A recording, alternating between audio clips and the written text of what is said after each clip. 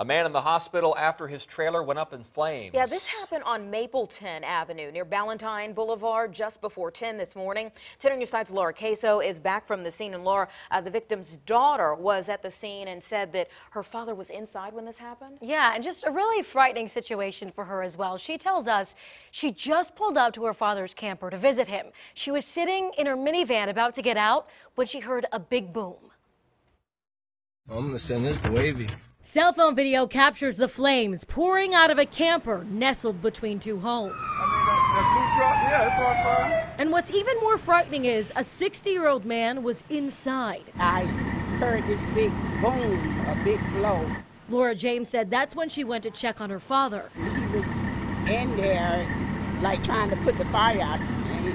Like, Come on in, come on in. I say, I'm not coming in there. I say, You come on out. He made it out alive with burns to his hands and face, she says.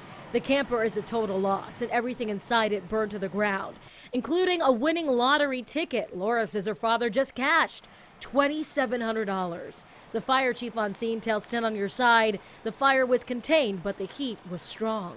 Uh, the fire did do uh, some damage to a neighboring home uh, that was beside it. While the loss is a devastating one, she says one thing matters. He's going to be okay. That's what's important to me right now. He's going to be okay. We reached out to Sentara Norfolk. They tell us the man is in serious condition. We're still waiting for a cause of the fire. Laura Caso, 10 on your side.